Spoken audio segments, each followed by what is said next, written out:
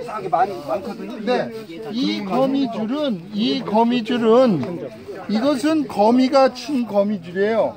근데 여기 눈에 우리가 잘 보일까 말까 한 이렇게 털어보면 여기 까만 점이 붙어 있죠? 그게 응애야. 그게 바로 애기 거미야. 그게 빨간 놈도 있고 까만 놈도 있고 그래. 그래서 그 응애를 꼭 잡아야 돼. 그것을 그러니까 응애약은 필수적으로 그냥 안 생겨도. 이렇게 검이 있는 거는 괜찮고. 이 거미줄은 다른 벌레 잡아먹으려고 생기는 이, 이거요. 이, 이, 이, 이 거미는 조그만 이런 것들이야. 음. 그러니까 이거하고 그 저 저거하고는 상관없어요.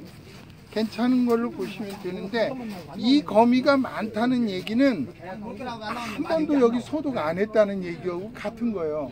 예, 그런 거예요.